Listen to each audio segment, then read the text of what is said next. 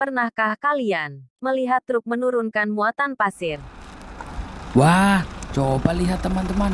Kalau hidroliknya setinggi itu, pasir pasti akan turun sendiri tuh kan.